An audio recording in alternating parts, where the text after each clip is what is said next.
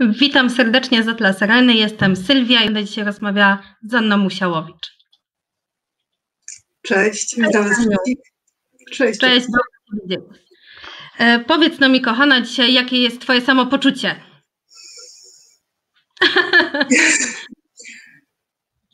Wiesz co, e, jesienne, bardzo jesienne, z tego względu, że pogoda u nas jest taka dosyć paskudna, ja bardzo mocno na tą pogodę reaguję, więc i senność, i takie, takie wiesz, taka powolność mnie jakoś e, zdobywa so, dla siebie. Ale ogólnie rzecz biorąc jest mimo wszystko fajnie. Ja lubię jesień, wiesz, lubię mimo wszystko takie troszeczkę czasem ponure, e, ponure nastroje i, i to też jest, wiesz, przyjemne. Nie tylko musi być słońce, słoneczko też lubię, ale jest fajnie, jest dzisiaj fajnie ale ja też najbardziej lubię jesień, więc wiem o, o co chodzi. E, Aniu, dzisiaj pogadamy o Twojej książce Diabeł z okna. No. E, powiedz no mi, czy możesz przybliżyć słuchaczom, o czym jest Twoja książka? W takich dwóch, trzech zdaniach. Trzech zdaniach. E, Diabeł za okna to jest historia e, Asi, ośmioletniej, która spędza wakacje u swojej babci.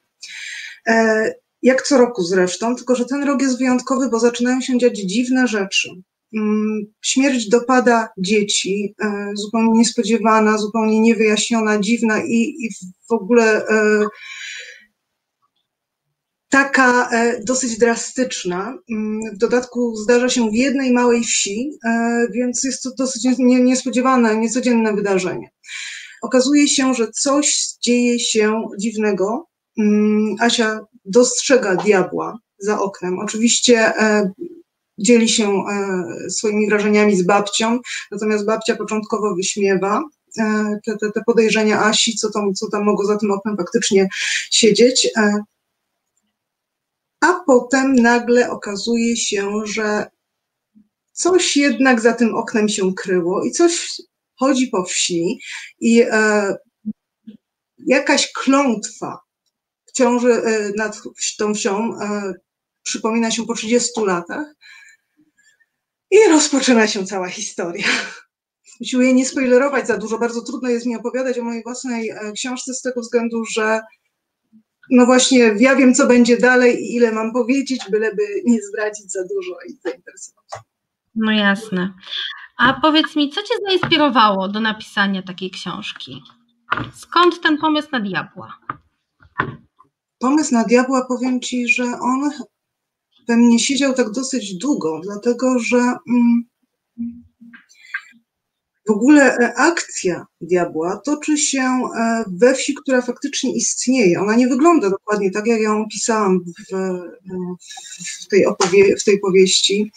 E, ani wówczas, te 30 lat temu, nie, istnia, nie, nie wyglądała w ten sposób, ani dzisiaj tym bardziej. Natomiast są pewne takie szczególne miejsca, które które można, możemy zobaczyć w rzeczywistości, gdybym Wam powiedziała, gdzie to się znajduje, nie powiem. Natomiast e, pomysł na tą powieść, e,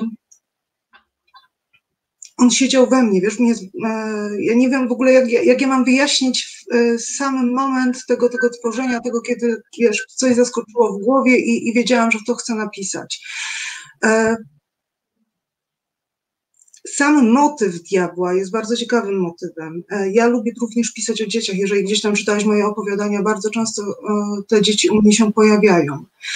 I e, kiedy połączyłam jedno z drugim, w dodatku dołożyłam właśnie gdzieś takie rejony, które lubiłam, które, o których wspominam, zresztą bardzo wiele osób mówiąc o, o diable za oknem, za okna mówi o tym, że że, że, że, widzi, że wspomina, że, że pamięta, że u nich, że też spędzali takie wakacje.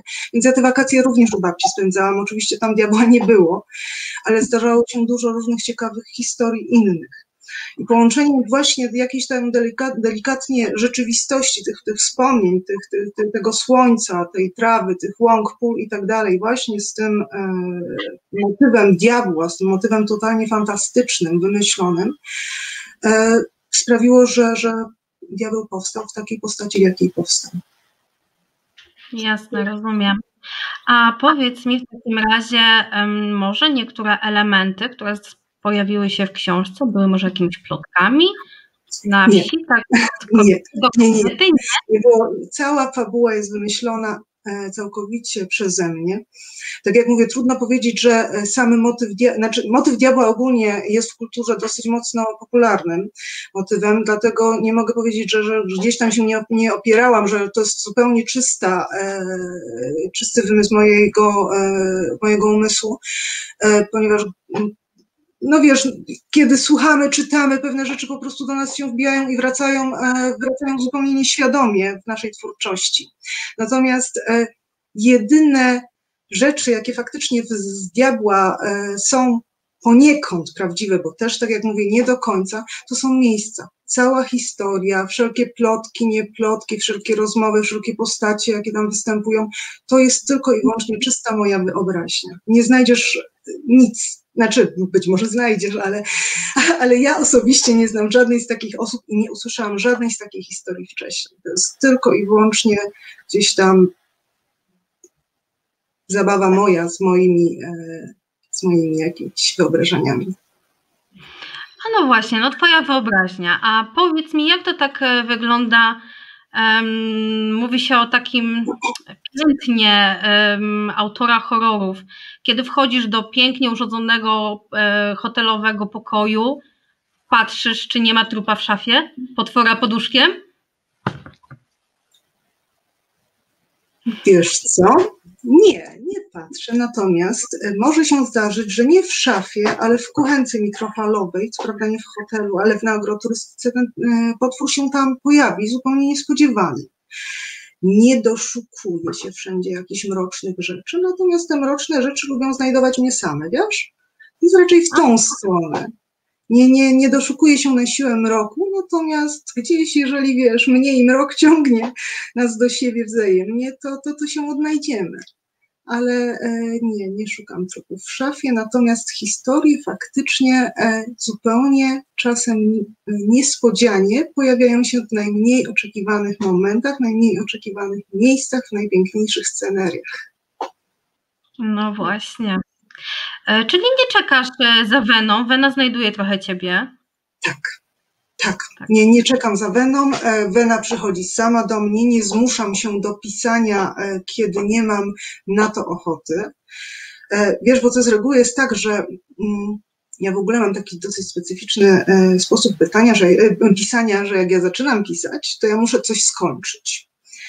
I Wiesz, w przypadku opowiadań to jest możliwe oczywiście, że, że e, zarwę noc, że będę pisać cały dzień, że zapomnę jeść, pić i cokolwiek. Natomiast w przypadku powieści e, to już nie jest takie proste, więc muszę sobie tą pracę gdzieś e, rozkładać i wtedy faktycznie staram się ustalić jakieś takie, wiesz, ramy, że pracuję codziennie od godziny do godziny nad powieścią i wtedy piszę. Natomiast jeżeli są takie momenty, kiedy nie mam ochoty pisać, nie piszę dlatego że mm, czasem złożenie prostego zdania e, zajmuje mi dwie godziny, a to zdanie i tak nie brzmi jak trzeba, a przychodzi moment, kiedy w ciągu godziny po prostu napiszę kilkanaście stron, a jeszcze, wiesz, jeszcze bym chciała więcej, jeszcze więcej, jeszcze lepiej, jeszcze mocniej. Jasne. A powiedz mi, czy zakończenie swojej książki znałaś, zaczynając ją czytać, czy ona troszeczkę poszła swoim życiem? Oj, poszła swoim życiem, moi bohaterowie nie chcieli kurczę słuchać, absolutnie byli niewychowani, e, że stworzyłam ich i po prostu dałam im wolną wolę. Natomiast e, to nie było tak, że pisałam bez konspektu i że zupełnie e, sobie pozwoliłam na taką, wiesz, wolną Amerykankę.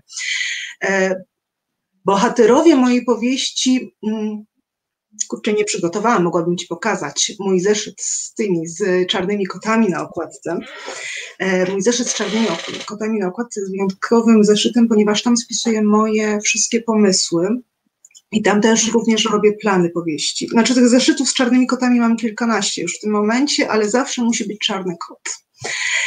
I e, w tych zeszytach wpisuję sobie dokładnie e, plany, wpisuję sobie bohaterów, jak mają wyglądać. Wiesz, ja nie chciałabym jakiejś takiej sytuacji, bo i tak się czasem zdarza, że opisuję, wiesz, piękną zieloną oką blondynkę, a potem czarny pukiel włosów, obwiesz, gdzieś zawinął się i tak dalej, więc trzeba unikać takich rzeczy, a tak naprawdę um, nie zawsze ja jako autor jestem takie drobiazgi e, w stanie zauważyć od razu, bo zakładam, gdzieś tam mi się po drodze koncepcja zmieni ten czarny pukiel bardziej mi pasuje niż ten blond e, lock. Natomiast pisząc, właśnie żeby się nie pogubić, muszę mieć jakiś plan.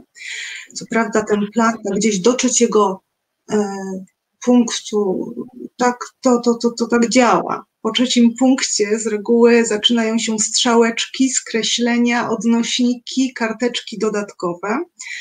E, natomiast, e, natomiast jeżeli chodzi o diabła, to właśnie tak było, e, że był ten główny zarys powieści. Mm, Asia była Asią, Grzelakowa była Grzelakową, babcia była babcią. A diabeł chodził i zabijał tak, jak miał zabijać. Mm. Znałam zakończenie tej powieści od samego początku, e, bo od razu miałam taki zamysł właśnie, żeby to była taka, taka baśń, znaczy baśń. Tak, żeby to była, ta, znaczy baś, ba, taka no, groza baśniowa, e, żeby to wszystko takie, takie były delikatne, żeby to nie było po prostu krwawym, ostry horror, mimo że tam się, że, mimo że to nie ma być książka dla dzieci, tak? E, I e, kiedy pisałam Diabła, gdzieś, gdzieś w międzyczasie, kiedy mi Asia zaczęła rosnąć, robić inne rzeczy niż powinna robić, e, ta fabuła szła w inną stronę.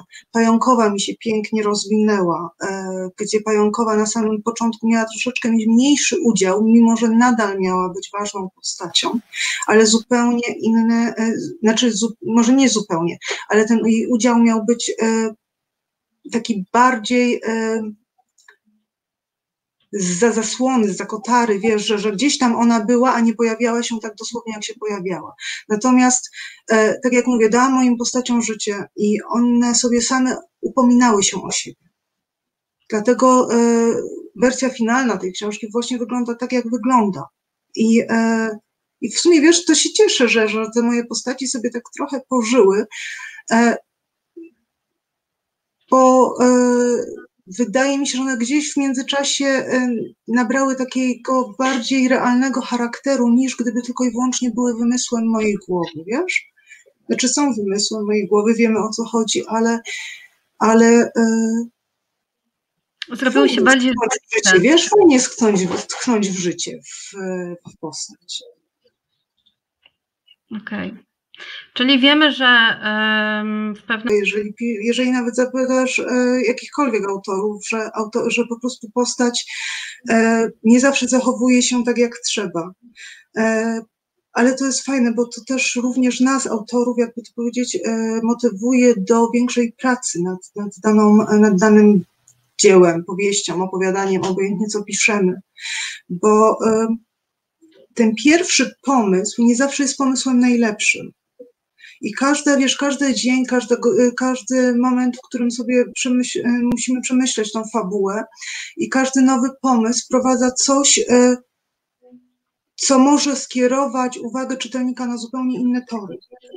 A to też z reguły, bo nie można powiedzieć, że zawsze, ale z reguły jest dobre dla tworzenia. A masz jakąś swoją ulubioną postać, która tak wyewoluowała? Grzelakowa.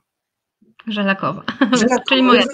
Mogę Ci powiedzieć, dlaczego Grzelakowa. Grzelakowa, e, Grzelakowa, której absolutnie nie lubiłam, tak powiem Ci na samym początku, była głupią babą, po prostu plotkarą, a jednak na samym końcu w tej, w tej głupocie, w takiej tempocie wręcz można powiedzieć, okazała się kimś, kto coś tam jednak w tej głowie ma i, i wie, jak ma się zachować. Tak, znaczy Grzelakowa była taką postacią według mnie e, jedną chyba z najciekawszych, najbardziej barwnych w tej powieści. Natomiast y, moją ulubioną postacią tak naprawdę zupełnie to był dziadek, którego było bardzo niewiele, a który gdzieś tylko i wyłącznie się pokazywał z tyłu, y, jako taki do, bardziej dobry duch niż realny człowiek. Bo dziadka było tam, mm, jak czytałaś, niewiele w, w tej powieści. On się pojawiał w, w, wtedy, kiedy, kiedy należało się pojawić, nigdy więcej, że po prostu e, odpowiedni człowiek w odpowiednim miejscu, nie częściej. I jakoś taki, taki mam największy sentyment do niego, mimo wszystko, wiesz? A i do kota, przepraszam, o kotach trzeba wspomnieć. I do kota, i do kota. Odpowiedni człowiek w odpowiednim miejscu, ale było też odpowiednie zwierzę w odpowiednim miejscu. Tak.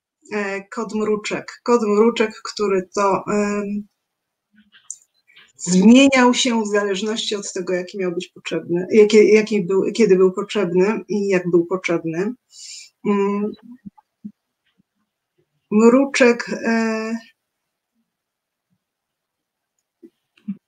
nie wiem, e, na samym początku o mruczku napisałam taki cytat, że właśnie, że mruczek się zmieniał, że nieważne, czy ja nie, nie, nie zacytuję teraz dokładnie książki, jak to dokładnie szło, ale że e, nieważne, czy był rudy, czy był czarny, czy e, to był zawsze ten sam mruczek.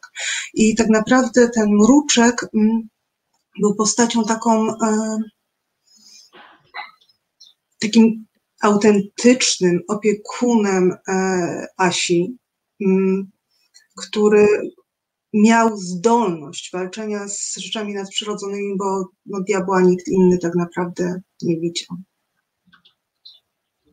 Czyli nie muszę ciebie pytać, czy wolisz psy czy koty, tak? Chyba. nie musisz, nie musisz. No już wiemy, że wolisz zdecydowanie koty. Tak, e, ale wydaje mi się, że Mruczek miał więcej niż dziewięć żyć. E, wiesz co, e, wiesz, mruczek miał dziewięć żyć, tylko że czasem w in, którymś życiu mógł się nazywać troszeczkę inaczej, wtedy to były dokładane kolejne życie, wiesz? Tak, tak chyba, że Zależy tak. jak liczyć, zależy z ale... strony ugryziemy temat. Mruczek tak, ale koty to, koty Jestem przekonana, że wiesz, że, że gdzieś jeszcze jakiś mruczek istnieje e, i e, na pewno taki mruczek kogoś, kimś się opiekuje. Zresztą e, no chciałabym, wiesz, tak prywatnie powiem, że, że chciałabym mieć kota, na razie nie mogę, ale, ale może jeszcze kiedyś będę miała swojego mruczka. Okej, okay, dobra, czyli e, wiadomo, że koty nie psy, a powiedz mi... Ale psy, takim... też, psy też. Aha, psy też, tak? Psy, e, psy nie są skreślone, nie skreślamy ich. Nie, nie skreślamy, pies najlepszym przyjacielem człowieka. Powiem Ci, nawet weź sobie w wyszukiwarkę, to było dla mnie naprawdę bardzo ciekawe doświadczenie, e, kiedy mm, wyszukuję, dla, kiedy pracuję w wydawnictwie, wyszukuję różnego rodzaju grafik. Wpisałam kiedyś e, w wyszukiwarkę słowo przyjaciel, potrzebowałam grafik gdzieś tam przyjaźni. Wyobraź sobie, że właśnie zamiast pojawić, e, zamiast nie pojawiły mi się obrazki ludzi gdzieś tam przytulonych, tylko pojawiły mi się obrazki psów. To też o czymś świadczy. To prawda. E, wiemy, jak wygląda mruczek. Ma milion swoich odsłon, ale jak wygląda Diabeł. Jak, Jak wygląda diabeł? Diabeł? Diabeł jest takim pociesznym, typowym diabłem, jaki znamy od, jakiego znamy od dzieciństwa właściwie. Mhm. Bardzo wiele osób kojarzyło go z diabłem, e, jak czytałam recenzję, z diabłem piszczałką. E, I poniekąd e, to prawda, ponieważ e, diabeł piszczałka był e, takim wzorem właściwie e, diabłów, którymi nas straszono, prawda? E, że są te rogi, że jest ten, e, to, to, te, te, te, te wielkie skołtunione e, futro, że jest on taki mm, no, brudny, niefajny. Natomiast diabeł, i taki jest diabeł Asi. Diabeł Asi jest właśnie typowym diabłem, który straszył wszystkie dzieci w koszmarach, ma rogi, mimo że Asia nie dostrzega tego ogona, na pewno ten ogon ma, ma kopyta mm, jeżeli byś zapytał jakiekolwiek dziecko, jak wygląda diabeł, to właśnie opisałby e, tego diabła za okna. Tak naprawdę ten diabeł nie musi mieć konkretnego wyglądu. Ważne, żeby dla ciebie, dla każdego wyczytelnika straszył. No i straszył, straszył, nie mogę powiedzieć. Na pewno troszeczkę też ewoluował. Na początku nie był taki straszny, ale z każdą stroną robiło się coraz gorzej. Wydawało mi się, że on rósł, nabierał tego, tej potęgi swojej. Czy Musiał tak troszkę było? Musiał skusić Asię. Pamiętaj, że e, znaczy wiesz co, to, to są słowa księdza Twardowskiego. E, zło jest ciekawe. I e, jeżeli zło na samym początku e, odsłoni przed tobą całą twarz, tą prawdziwą twarz, nigdy w życiu byś za nim nie poszła. I e, dlatego diabeł na samym początku, mimo że był, nie był przyjemny, bo nie był od samego początku przyjemny, ale na samym początku był ciekawy jak każde zło. Potem coraz bardziej pokazywał, jaki jest naprawdę i, i co, co, e, jaką ma siłę, co naprawdę potrafi zrobić. Tak, ewoluował, zwłaszcza, że no nie chcę tutaj znowu spoilerować, na samym końcu książki przecież diabeł był inny. No był, był. Ciarki przeszedł po plecach w niektórych miejscach, to prawda. Świetnie, e, że wystraszyłaś. E, tak, e, naprawdę dobra groza. To jest coś fantastycznego. Nie było przelewu krwi, nie było niepotrzebnej przemocy, ale ciarki były. Bardzo się cieszę. Dziękuję Ci za taką opinię. A jaką miałaś reakcję, kiedy zobaczyłaś e, pierwszy raz w księgarni e, książkę swoją, ze swoim nazwiskiem na półkach? Wiesz co, premiera Diabła niestety zbiegła się z koronawirusem, więc tak naprawdę na półkach w księgarniach tego Diabła nie zobaczyłam. Mogłam tylko i wyłącznie oglądać go w internecie. E, ale wiesz co, mm, jest to coś takiego mm, ujmującego, kiedy, kiedy patrzysz, jest, wiesz, jest ta okładka, e, jest to twoje nazwisko, e, to jest to jest duma, której nawet nawet nie wiem, jak wyrazić, wiesz, bo, bo, z jednej strony masz tą dumę, że jejku, jest to twoje, to twoje dziecko, to, to nad czym gdzieś tam pracowałaś ileś czasu e, i, e, i starałaś się, żeby mm, było jak najlepsze. W dodatku e, z drugiej strony przychodzi strach, no ale co inni powiedzą, przecież nie pisałaś tego tylko i wyłącznie dla siebie, przecież jeżeli piszę, to ja piszę dla czytelników. I co ci czytelnicy powiedzą, a, a jeżeli im się nie spodoba, a może im się spodoba? I po prostu to jest, wiesz co, to jest tyle emocji, że e, nie sposób ich opisać, wiesz, tak, tak w takim skrócie, bo mm, bo nie wiem, co, znaczy, wiesz, naj, największą, największym, e, największą emocją jest na pewno radość, na pewno jest ta radość, na pewno jest duma i że widzisz to, to, tą swoją książkę, że możesz się nazwać, wiesz, autorem, że możesz pokazać, hej, ja napisałam i, i polecam ci i, i ale z drugiej strony, e, tak jak mówię, no, te wszystkie wątpliwości, które nagle, kiedy to się okazuje prawdą, że to już jest, że się stało, to jest, mówię, to jest taka e, feria emocji, taka, taka, e, no, no, nie do opisania. Nie do opisania, nie do opisania, dosłownie.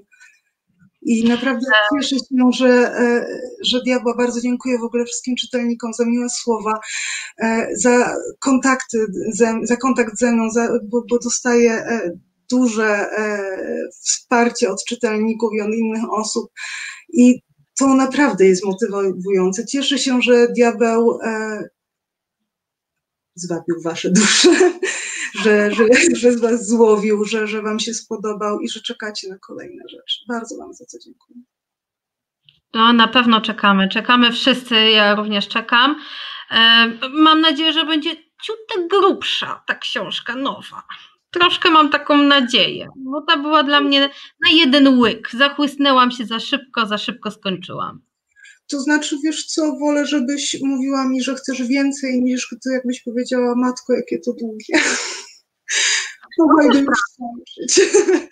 Zobaczymy, co wyjdzie e, z kolejnej rzeczy, kiedy wyjdzie, kiedy skończę wszystko robić, ale e, coś się dzieje. Natomiast e, ja jestem przede wszystkim pisarzem opowiadań i mm, i powieść jest dla mnie wyzwaniem bez znaczenia, jak długa by miała być.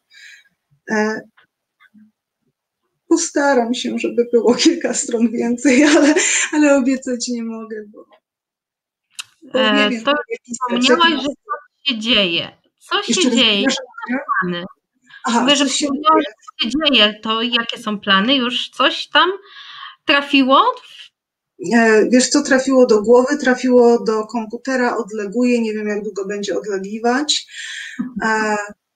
Ponieważ to nie jest jeszcze etap taki, żebym chciała się tym chwalić, a znając mnie, to może odlegiwać nawet i pół roku, wiesz, żebym mogła sobie nabrać, tak, może bym mogła nabrać do tego dystansu, żebym mogła e, popatrzeć na to, zapomnieć, że ja to pisałam i, i, jak to chciałam napisać, ponieważ kiedy piszemy pewne rzeczy, wiesz, e, mamy w sobie pewne emocje, e, często jakieś sentymenty, jeżeli jesteśmy w danej sytuacji, e, to pewne słowa brzmią inaczej niż pół roku później, wiesz? I, e, i e, dla mnie jest ważne nabranie dystansu do, do tego, co tworzę, na to, żebym mogła spojrzeć e, oczami zupełnie nie swoimi. Wiesz, mam swojego ukochanego byta czytacza, moją Kasię, która gdzieś tam zawsze mi powie, że no kurczę, wiesz co, tu przesadziłaś, albo nie, no jest okej, okay. wolę jak mówi jest okej. Okay. E, więc, więc nie jest tak, że jestem z tym tworzeniem tak zupełnie sama, ale, e, ale jednak to jest moja książka i ja jestem strasznym uparciuchem, wiesz, i ma być tak, jak ja chcę i, i już. I mm, czasem nawet dobre rady muszą zaczekać, żeby do mnie dotrzeć. Tak, niestety. Okej, okay, no to może taki malutki spoilerek. Jak długo pisałaś pierwszą książkę, to wtedy będziemy wiedzieć, jak długo będziesz pisać drugą. Dobra, to było tak. Mm. To był sierpień, dokładnie tak. To był sierpień e, 2018 roku, tak. Kiedy powstał wstęp do diabła. Mm, to była ta pierwsza scena właśnie kiedy, e, o tym, kiedy Asia stoi na ganku. Uznałam, że napiszę powieść. Mm, stwierdziłam, że to jest ten czas. Zresztą powiem Ci, że, że byłam zaskoczona, jak wiele osób gdzieś na tą powieść czeka. Jeszcze wiesz, wtedy to były czasy, kiedy konwenty się odbywało, kiedy się można było spotykać e, face to face z ludźmi. I, e, i wiele osób mnie pytało, no kiedy w końcu, kiedy w końcu własny tytuł. Więc tego, w tym sierpniu e, skreśliłam pierwsze zdania, przeczytałam ten wstęp, stwierdziłam, że ok, jest fajny. Po czym e, to, to, był urlop w ogóle, to, to, to skreśliłam na urlopie te, te, pierwsze zdania. Kiedy e, skończył mi się urlop, okazało się, że tego czasu jest za mało na pisanie. I wiesz, i zaczęłam coś tam dłubać, ale tak jak mówię, to, to nie był czas, Wena gdzieś tam może nawet nie odeszła, ale nie miała prawa się pojawić ze względu na inne rzeczy. I po jakimś czasie wróciłam do tego wstępu i zaczęłam się zastanawiać, czy to jest na pewno coś, co ja chcę pisać. Z racji tego, że wiesz, że mm, to nie jest, e, Diabeł z nie jest takim czystym horrorem, jaki gdzieś tam, wiesz, podręcznikowy, jaki znamy. Jednak e, jest tam połączenie bardzo wielu gatunków. I oczywiście zwątpiłam, czy ktoś to w ogóle będzie chciał czytać. Ja tą powieść odłożyłam praktycznie rzecz biorąc na rok. E, był lipiec 2019 roku. I e, to były dni fantastyki e, we Wrocławiu i znów się zdarzyło, że mnie zaczęto pytać o powieść i, i kiedy się w końcu wydarzy i, i no i stwierdziłam, że no coś tam zaczęłam pisać. Mm, z jednym autorem troszeczkę w głębszą rozmowę weszłam i, i mu opowiedziałam, jak ja to widzę i że tak mówię, że matko, czy to nie jest za, za, za naiwna powieść w ogóle. A on, wiesz, popatrzył na mnie matko, pisz to, temat właśnie wygląda tak, jak powinno wyglądać. I e, wtedy akurat miałam taki dosyć e, trudny czas w moim życiu, z tego względu, że e, wylądowałam w szpitalu, przez jakiś czas nie mogłam chodzić i, e, i miałam czas. Nie mogłam chodzić, ale ręce miałam sprawne, więc e, zaczęłam pisać. Więc sierpień 2019 roku, czyli dokładnie rok później, to był czas kolejnego podejścia do diabła. I tak właściwie z racji tego, że miałam całe dnie naprawdę wolne, to po prostu szło mi jak burza. Książkę nawet nie powiem Ci dokładnie, czy skończyłam we wrześniu, czy w październiku. W każdym razie, wiesz, miałam to szczęście, że wydawca na nią czekał, więc już w marcu mogła się pojawić ale tak, to trwało rok i jeżeli chodzi o moją tą książkę, którą mam teraz spisać, to sądzę, że to się chyba jeszcze bardziej przedłuży. Ojej, to niedobra wiadomość. Wiesz co, jeżeli ma pójść w jakość, to może tak.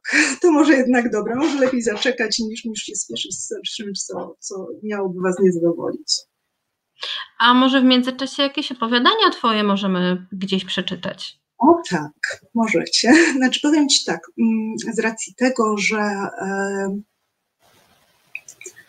no jest czas, wiadomo jaki mamy, mm, nie jestem w stanie dokładnie powiedzieć, e, kiedy będą e, premiery książek. Jeszcze wydawcy milczą, więc za dużo e, nie mogę powiedzieć, ale tak moje opowiadania ukażą się w antologiach przynajmniej trzech, powinny w tym roku wyjść trzy, a jeszcze, że tak powiem, dwie czekają. Natomiast mogę już powiedzieć o jednej. 30 e, listopada będzie miała premiera e, antologii zabawki. Jest to wyjątkowa antologia, to już mogę od razu powiedzieć, ponieważ takiej w grozie, e, w horrorze nie było. Antologia ta jest wynikiem, właściwie z zwieńczeniem pewnego etapu projektu, który e, prowadziła Magda Paluch. Na pewno znacie tutaj, jeżeli osoby znają horror, to, to, to Magda nawet nie muszę przedstawiać nikomu. E, Magda, prowadząc grozownię w zeszłym roku, w marcu, E, wpadła na pomysł e, promowania kobiet w grozie. Ponieważ faktem jest, że jest nas raz, że mniej, dwa, że nasz głos jest cichszy, że stereotypy każą myśleć, że kobiety w grozie to tak może niekoniecznie, że wiesz, że to, to trzeba porządnego faceta i tak dalej. A, a przecież jest nas całkiem sporo i mamy co pokazać. W związku z czym e, w wydawnictwie, znaczy może jeszcze wrócę. W tym marcu zeszłego roku, z okazji Dnia Kobiet, e, od marca do nie pamiętam już którego miesiąca, pojawiały się wywiady z autorkami grozy. A w międzyczasie Magda zaproponowała nam napisanie opowiadań E, których tematem, których tak, tematem przewodnim e, były zabawki. E, powiem Ci, że no, fantastyczna sprawa, świetne dziewczyny.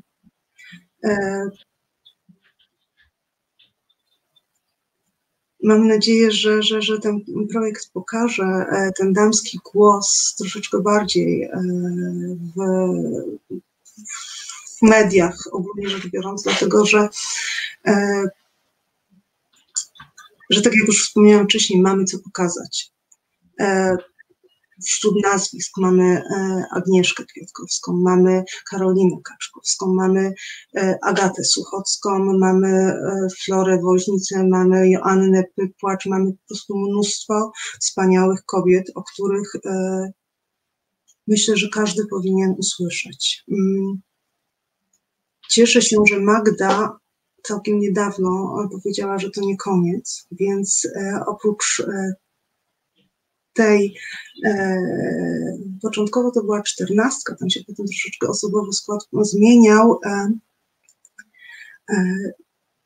Chcę ten projekt rozwijać i pytanie, co będzie dalej. Natomiast Zapraszam wszystkich, e, by zerknęli na e, stronę wydawnictwa 9, które to wydawnictwo właśnie, którego e, wydawnictw, nakładem tego wydawnictwa wyjdą zabawki żebyście zerknęli na tą stronę e, i e, zamówili. Po prostu zachęcam Was do zamówienia, bo w tym momencie trwa przedsprzedaż, tak już niebawem e, premiera. Mm, czyli groza przez duże G. Tak, kobieta groza jest kobietą. Jest grozą. Tak, tak. Groza jest kobietą. To jest hasło przewodnie. Mm, i, e, no i mamy nadzieję namieszać troszeczkę na rynku wydawniczym. No i bardzo dobrze. Może w końcu. To znaczy, wiesz co... Um, Czegoś przebije. Tak, tak, mam nadzieję, że, że, to, że, że ten głos kobiet będzie słyszalny, dlatego że e, wiesz, jest, e, kiedyś w ogóle takim, e, czytałam e, taki artykuł właśnie o tym, jak zdobyć popularność na rynku i jacy autorzy się najlepiej sprzedają. I gdzieś właśnie było taki, taki, takie stwierdzenie, że jeżeli chcesz osiągnąć sukces szybko, to najlepiej, jeżeli jesteś mężczyzną, i najlepiej, jeżeli masz nordycko brzmiące nazwisko no na pewno w kryminale to, to, to się e, dzieje bardzo mocno. Natomiast my jako kobiety e, w grozie nie zamierzamy się wstydzić naszych nazwisk. E, nie zamierzamy udawać, że jesteśmy kimś, kim nie jesteśmy i chcemy pokazać to, że e, znaczy troszeczkę powalczyć ze stereotypem, że wiesz, kiedy myślisz o, o grozie, od razu masz e, o, o kobietach, o grozach, gdzieś mimo wszystko e, w pierwszym momencie mm, jest skojarzenie z z takim romantycznym obrazem tej grozy, wiesz, ze zmierzchem, z wampirami, wiesz, gdzieś, e, nawet jeżeli pomyślimy o Anne Rice, która, która napisała e, mm, Królową Potępionych, e, wywiad z wampirem i, i całą tą sagę wampiryczną, e, ona chyba e, była jedną z, naj, z, najbardziej, znaczy jest jedną z najbardziej e, znanych autorek grozy, ale właśnie między innymi o niej to, że ona jest właściwie tylko i wyłącznie tak szeroko znana mm, i, i jeżeli zapytasz kogoś o kobiety w grozie, e, u niej są, e, ona sprawiła to, że my głównie myślimy o tych wampirach kobietach, ale jeżeli przeczytasz opowiadania Karoliny Kaczkowskiej, słuchaj, nie jeden facet nie ma za przeproszeniem takich jak ja, ja i jak I, I nie tylko o Karolinie mogę w ten sposób mówić, bo e, bo to nie jest tak, że kobieta będzie się bała tylko i wyłącznie duchów, bo to nie jest e, to, że kobieta będzie tylko i wyłącznie opisywała, e, wiesz, jakieś stukania za drzwi, które tylko i wyłącznie, wiesz, mrożą na e, krew w żyłach. Oczywiście ja nie mówię, że te duchy i te stukania są czymś złym, ale rozległość tematów i, i możliwość e, dotykania różnych sfer w grozie, w horrorze e, jest tak e, obszerna, że, że, że to trzeba po prostu pokazać. I trzeba, a z racji właśnie tego, że jednak te kobiety w grozie są mniej słyszalne, dobrze jest, kiedy jesteśmy wszystkie razem, wiesz, w kobietach siła. I, i, e, i kiedy jesteśmy razem, bardziej e, możemy zwrócić na siebie uwagę. I liczę na to, że, że ta antologia zabawki właśnie zwróci uwagę na to, e, jak nas jest wiele i co potrafimy. Wiesz, ja miałam ostatnio nawet rozmowę e, z znajomym, znaczy teraz już znajomym, wcześniej, wcześniej po prostu był czytelnikiem Diabła z okna tylko i wyłącznie. I on mi powiedział, że, znaczy i trafił właśnie na, ten, e, na informację na o projekcie Groza jest kobietą. I stwierdził, że mówi, kurczę Anka, faktycznie, ja nie znam kobiet grozy. Jak ja sięgam po horror, to jest to na pewno mężczyzna, a jedyną, kobiet, jedyną grozą, którą napisała kobieta, to jest diabeł za okna. I nikogo więcej nie znam. Więc to też o, wie, też o wielu rzeczach świadczy, prawda? Prawda. Ciężko też napisać e, książkę, która będzie typowo grozą, właśnie bez tej niepotrzebnej przemocy, bez przelewu krwi. E, książka, która tylko spowoduje te ciarki na plecach. To znaczy, wiesz co, powiem Ci jeszcze inaczej, bo mm, dla niektórych ważne są te ciarki na plecach, ta, mm, ten, ten, wiesz, taki podskórny lęk, to, że bardziej się mm, boisz tego, co się może wydarzyć, niż tego, co się wydarza.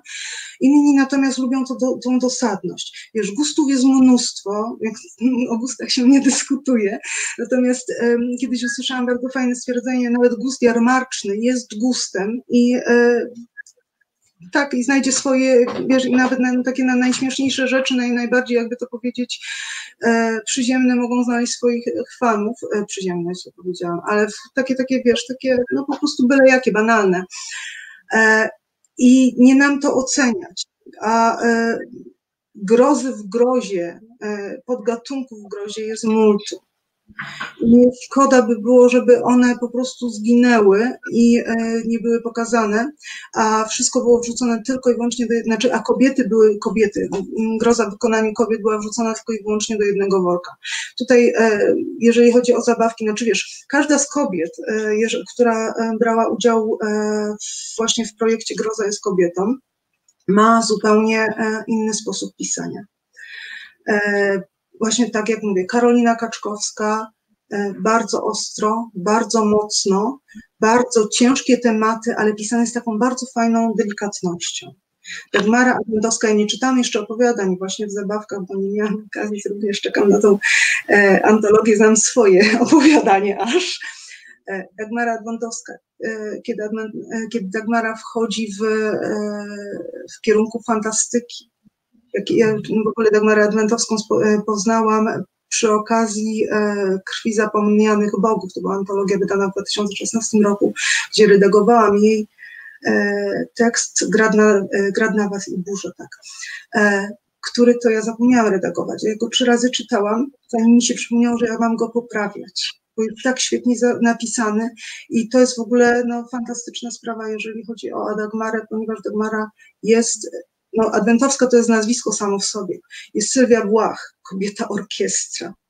E, czym się Sylwia nie zajmuje, wejdźcie sobie na jej stronę, e, to jest obłęd. E, I tak samo ona, e, no, Groza w jej wydaniu też jest mm, bardzo ciekawa. E, ona jest autorką syndromu Ridocha, nie pamiętam w którym roku, chyba też pod koniec 2016 albo 2017 początku wyszedł. Wydaje mi się syndrom Ridocha, gdzie wchodzi w E, rzeczy postapokaliptyczne. E, mamy e, Agatę Suchocką, która to też jest po prostu kobieta petarda. I tutaj, jeżeli chodzi o jej twórczość, u niej mamy i te wampiry romantyczne, i teraz wyszła antologia cyberpunkowa, której miała, w której wzięła udział. I też mamy mnóstwo prostu e, no, no całe spektrum e, możliwości rozwijania się w grozie. E, wiesz co, aż mi jest głupio, bo po prostu nie wiem jeszcze o kim opowiadać. Z Karla Mor, matko jedyna Asia. Ja popatrz, moja Proszę? Przerwę ci, przerwę ci w takim razie, Aniu, ponieważ mamy dużo pytań od widzów, a czas ograniczony. Więc e, zacznę powolutku już. E, pierwsze pytania. E, czy planujesz dalsze losy diabełka, może w innej odsłonie? Jeżeli tak, to kiedy? To może zacznę od końca. Jeżeli tak, to kiedy? Nie wiem. Natomiast czy to będzie diabełek? Mm, nie. Ale to nie znaczy, że to nie, że, znaczy, to nie będzie diabeł, ten diabeł za okna, dlatego że jego historia tutaj została już zakończona. I i ten diabeł, ten diabeł już po prostu odszedł tam, gdzie miał odejść i klątwa, rzucona klątwa po prostu no już, już nie ma, już się spełniła. To, co miało się spełnić, to się spełniło. I jeżeli chodzi o diabła, to na tę chwilę przynajmniej, bo ja e, nie twierdzę, że nigdy nie zmienię zdania, na tę chwilę nie chcę do diabełka wracać. Natomiast e, nie będę się bronić przed tym, żeby wrócić do klimatu tej wsi, do miejsc, e, natomiast postaci, te postaci już na tę chwilę przynajmniej wykorzystały swój potencjał. Być może kiedy Asia będzie dorosła, coś tam się wydarzy. Natomiast jeżeli chodzi o diabła, diabeł, diabeł może i wróci, ale na pewno nie ten. Diabłów jest tak dużo, że wiesz, że, że, że, że możemy tutaj znaleźć ich e, innych gdzie indziej i, i, i w innych ludziach zresztą wiesz Największe diabły to my nosimy w sobie. Możemy je albo oswajać, albo z nimi walczyć, więc, a ja je tworzę. Więc e, nie, na razie jeżeli chodzi o diabełka, to, to tę chwilę, na tę chwilę e, zostawiam ten temat, ale nie twierdzę, że nigdy do niego nie wrócę. No tylko ja tak e, z mojej strony, jak będzie diabełek, to pamiętaj, żeby był też kot. Nie, kot musi być w ogóle. Mowy nie ma, żeby kota nie było. Musi mieć to. Jak zawsze będzie mruczek, tak, mruczek musi być. Tak jest. E, dobra, przechodzę do kolejnego pytania. Mm, czy zasięgałaś inspirację z przekazów ludowych, czy to tylko czysta fantastyka?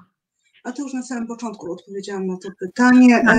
Nie, nie zasięgałam, natomiast jeżeli chodzi o sam, samą postać diabła, to jest postać ludowa i pewne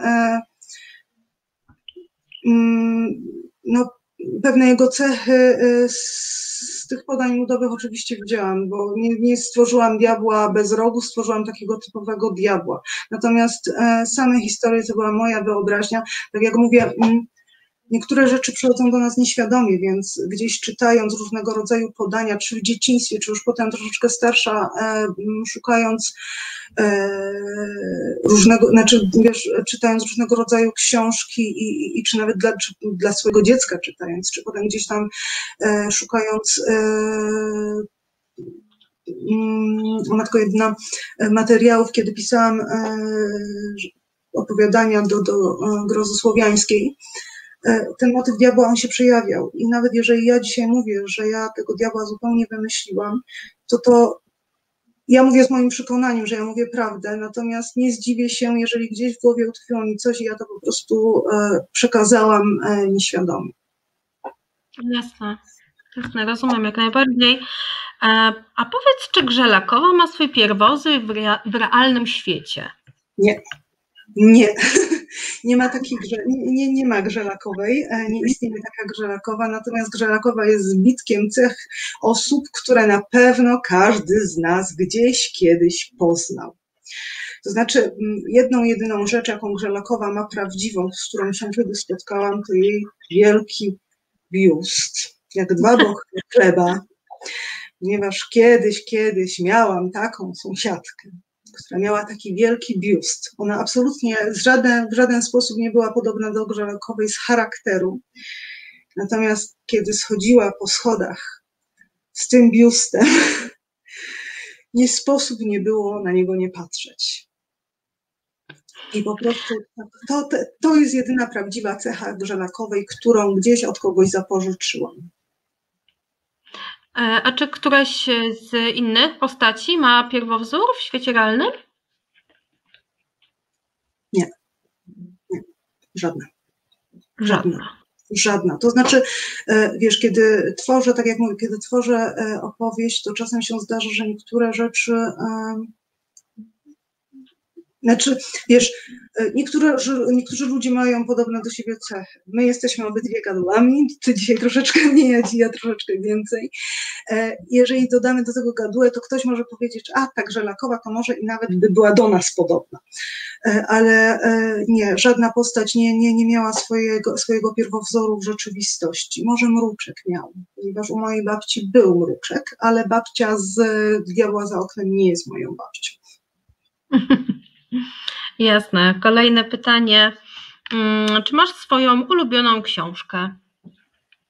Tak, e, ale nie jest to groza. Moją e, ukochaną książką jest, nazywam się Czerwień Orhana Pamuka. W ogóle, jeżeli chodzi o tę książkę, ponieważ przez wiele, wiele lat, mm, wiesz, kiedy e, gdzieś zadawano mi pytanie, czy mam taką swoją ukochaną książkę, ja nie potrafiłam odpowiedzieć. Mogłam wymienić, wiesz, pisarzy, iluś, których cenię, ale nie jedną, nie jednego, chociaż Neil Gaiman e, przez wiele, wiele lat wysuwał się na pierwszeństwo, do tej pory jest tak, z Orhanem Pamukiem, w sumie chyba na równi. Natomiast jeżeli chodzi o Nazywam się Czerwień, e, ja tę książkę pożyczyłam od mojej przyjaciółki.